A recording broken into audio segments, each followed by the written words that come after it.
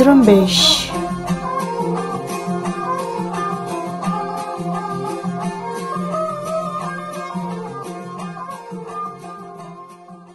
ये रेडियो जुरम्बिश उर्दू की आवाज़ है। आज मंगल का दिन 23 मार्च और साल 2021 है। आज के न्यूज़ बुलेटिन में सारिन बलोच हाजिर खिदमत है।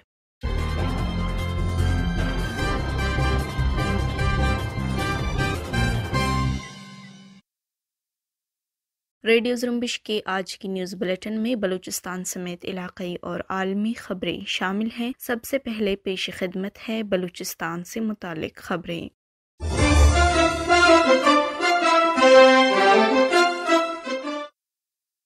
पंजगुर और खुजदार से पाकिस्तानी फौज और उसके खुफिया इदारों ने दो अफराद को जबरी तौर पर लापता कर दिया है। रेडियो जुम्बिश को मिलने वाली इतलात के मुताबिक पंजगुर से काबिज पाकिस्तानी फोर्सेज ने जहरीत करके वसीम वलद मोहम्मद ईसा नामी नौजवान को उनके घर से जबरी तौर पर लापता कर दिया है। इससे पहले वसीम को साल दो हज़ार सोलह में भी जबरी तौर पर लापता किया गया था। इसी तरह खुजदार में आर सी डी शाहरा पर वाक़ जुमा खान होटल से मुसल्ह अफराद ने एक रिक्शा ड्राइवर को जबरी तौर पर लापता कर दिया है। लापता किए गए शख्स की शनाख्त अब्दुल वहाब दोस्त के नाम से हुई है।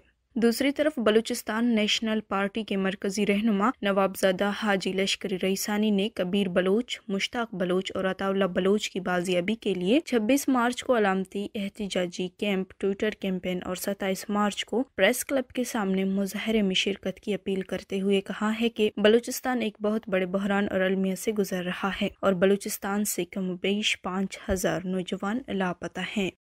बलोच लिब्रेशन आर्मी के तर्जुमान जींद बलोच ने कहा है कि बेल्ले के सरमचारों ने इतवार को बोलांग के इलाके पीर इस्माइल में काबिज पाकिस्तानी फौज के एहलकारों को उस वक्त आईईडी के ज़रिए हमले का निशाना बनाया जब वो राशन के लिए अपने पोस्ट से नीचे उतर रहे थे। जींद बलोच के मुताबिक धमाके के नतीजे में दुश्मन फौज के दो एहलकार मौके पर हलाक हो गए। जींद बलोच का मजीद कहना था की बी एल ए के सरमचारों ने हमले के बाद काबिज फौज का साजो सामान अपने कब्जे में लिया।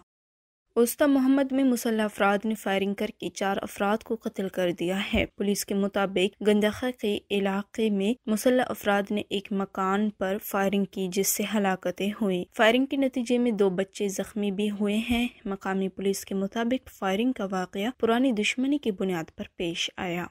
नोशकी में किशंगी के मकाम पर कार और मोटरसाइकिल के दरमियान ट्रैफ़िक हादसे में एक शख्स हलाक हुआ।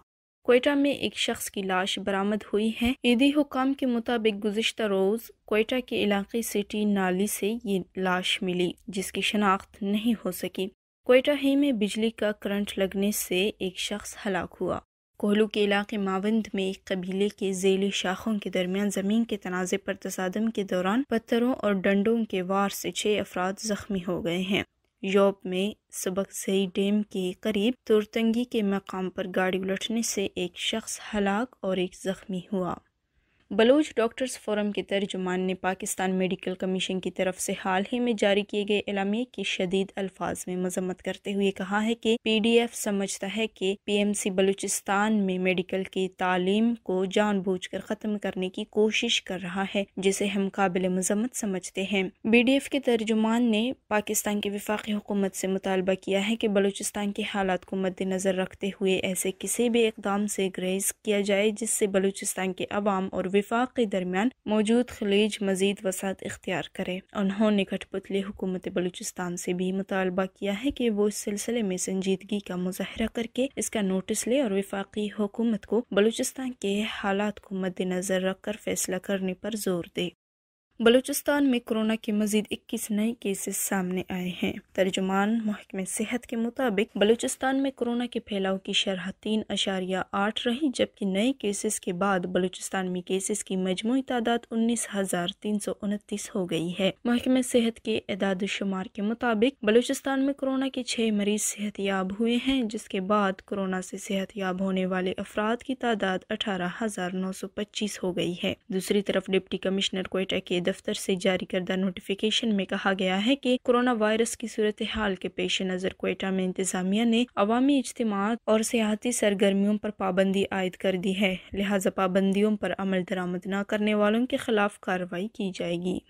ग्वादर और लसबेला से मुंतब कठपुतली M N A Mohammad Aslam Bhutani ने ग्वादर में मुनदा एक सेमिनार से खिताब करते हुए कहा है कि ग्वादर में यूनिवर्सिटी ऑफ़ ग्वादर के क्याम में बलूचिस्तान के मौजूदा गवर्नर रुकावट हैं। उन्होंने कहा कि हालाँकि एक्ट भी पास हो चुका है, लेकिन इसके बावजूद governor Balochistan university of Gwadar के क्याम की राह में रुकावट बना है। याद रहे कि ग्वादर में यूनिवर्सिटी का संग बुनियाद यकम सितंबर साल दो हज़ार सोलह को उस वक्त के वज़ीर अजम पाकिस्तान मियाँ मोहम्मद नवाज़ शरीफ ने रखा था।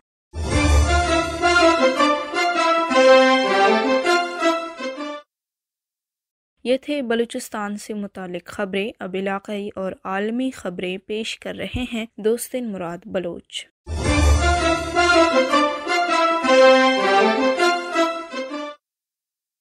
बीस रोज़ कबल बंदोबस्त पाकिस्तान, खैबर पख्तूनख्वा के ज़िले बन्नू की तहसील जानी खेल के इलाके हिंदी खेल से लापता होने वाले चार नौजवानों की मसक शुदा लाशें बरामद हुई हैं। इन नौजवानों की उम्रें पंद्रह से अठारह साल के दरमियान थी। बेदर्दी से कत्ल किए गए चारों नौजवानों की तलाश के बावजूद सुराग नहीं मिल सका था। ताहम इतवार को एक गड़े से कुत्तून ने एक नामालूम लाश का कुछ हिस्सा ज़ाहिर किया था, जिसे एक चरवाए ने देखकर अहले इलाका को इतला दी थी, जिसके बाद मकतूलन के लवाहिकीन ने कपड़ों और दीगर सामान की मदद से लाशों की शनाख्त की।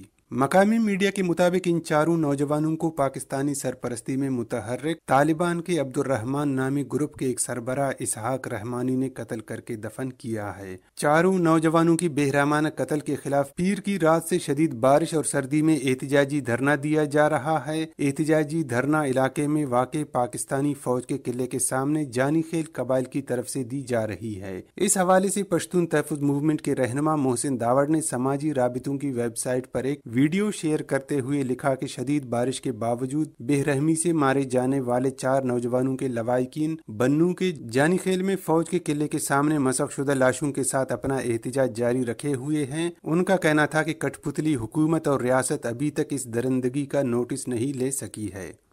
पाकिस्तान पीपल्स पार्टी ने चेयरमैन सेनेट का इलेक्शन इस्लामाबाद हाई कोर्ट में चैलेंज कर दिया है। पाकिस्तानी मीडिया के मुताबिक चेयरमैन सेनेट के उम्मीदवार यूसुफ रजा गेलानी की जानब से फारूक एच. नाइक ने इस्लामाबाद हाई कोर्ट में दरख्वास्त दायर की। पीपल्स पार्टी की जानब से इस्लामाबाद हाई कोर्ट में दायर दरख्वास्त में कहा गया है की यूसुफ रजा गेलानी के मुस्तरद वोटों को मंजूर करके चेयरमैन सेनेट करार दिया जाए। दरख्वास्त में मौकफ इख्तियार किया गया है की यूसुफ रजा गेलानी के सात वोट गैर कानूनी तरीके से मुस्तरद किए गए।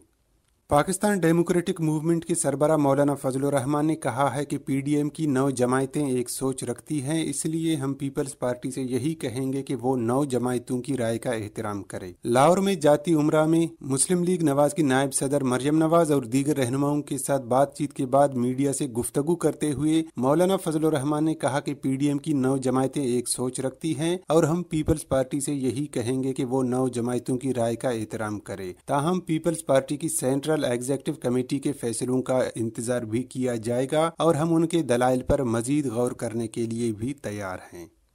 अमेरिका के वज़ीर दिफा लॉयड ऑस्टिन इतवार को अपने पहले दौरा अफ़गानिस्तान पर अचानक काबुल पहुँचे हैं, जहाँ उन्होंने सदर अशरफ गनी समेत दीगर आला हुकाम से अमन समेत दीगर उमूर पर तबादला ख्याल किया। अमरीकी महकमे दिफा के मुताबिक दौरे के दौरान ऑस्टिन ने कहा है कि वो ये सुनने और समझने आए हैं कि सदर अशरफ गनी के तहफात किया है। पेंटागोन के बयान में मजीद कहा गया है कि ऑस्टिन की काबुल में होने वाली मुलाकातों में अफ़गानिस्तान की मौजूदा सूरत हाल और साल साल से बद अमनी के शिकार मुल्क में देरपा अमन के हसूल के इम्कान का जायजा लिया गया।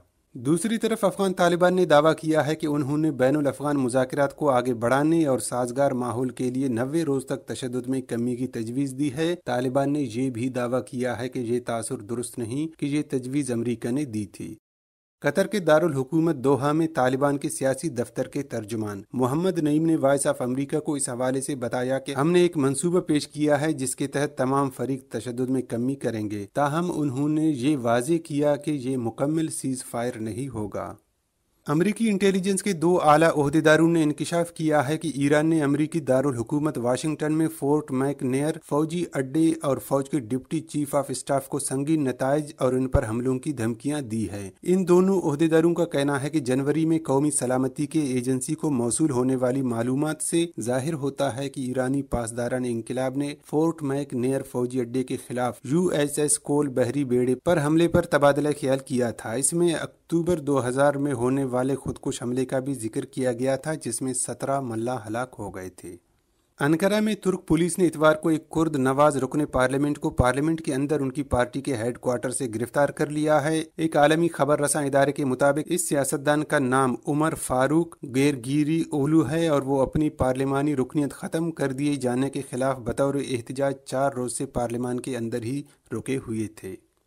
शाम के शहर हलब में शामी फौज की एक अस्पताल पर बमबारी से सात शहरी हलाक और चौदह जख्मी हो गए हैं। आलमी मीडिया के मुताबिक शामी बागियों के जेर कब्जा कस्बे में शामी फौज की शैलिंग से अस्पताल को नुकसान पहुँचा और सात शहरी हलाक हो गए। हलाक होने वालों में एक खातून और एक बच्चा भी शामिल है। रिपोर्ट के मुताबिक हमले में जख्मी होने वाले चौदह अफराद में अस्पताल का अमला भी शामिल है। दूसरी तरफ़ रूस के लड़ाका जेट तैयारों ने इतवार को शाम के शुमाल मगरब में हिजब इख्तलाफ के जेर कस्बा इलाकों पर बमबारी की है। अहनी शाहिदीन और हिजब इख्तलाफ के जराये के मुताबिक तुर्की की सरहद के नज़दीक वाक़ इलाके में फिजाई हमला किया गया था, जबकि ज़मीन से ज़मीन पर मार करने वाला एक मिसाइल भी गिरा है, ताहम इस हमले में किसी जानी नुकसान की इतला नहीं मिली। ऑस्ट्रेलिया के जुनूब मशरकी इलाकों में मूसलाधार बारिशों के बाद आने वाले सैलाब ने तबाही मचा दी है। आलमी मीडिया के मुताबिक सैलाब ने निज़ामी ज़िंदगी मफलूज कर दिया है, जबकि हज़ारों अफराद नकले मकानी पर मजबूर हो गए हैं और सैलाब की वजह से सैकड़ों स्कूल भी बंद कर दिए गए हैं। इतलात के मुताबिक कई दिनों से जारी मूसलाधार बारिशों से ऑस्ट्रेलिया की सबसे ज़्यादा आबादी वाली रियासत न्यू साउथ वेल्स के साहिली इलाके जेर आब आ गए हैं, जबकि सिडनी के भी कुछ इलाकों को सैलाबी सूरत हाल का सामना है। हुकाम के मुताबिक गुजशत कई दहाइयों में आने वाला ये सबसे बड़ा सैलाब है।